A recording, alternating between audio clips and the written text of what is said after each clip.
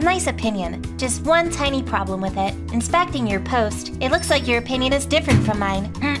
Let me tell you something. I am the baseline for opinions. Any opinion I hold is objectively correct, and as a result, any other opinions are wrong. Guess what? You happen to hold a wrong one. I hope you know that your opinion is now illegal. I have contacted the FBI, the CIA, the NSA, the Navy SEALs, Secret Service, and your mom. You'll be sorry you ever shared your opinions. By the time you're reading this, you'll be done for. Nature will punish you, humanity will punish you, supernatural beings will punish you, space will punish you.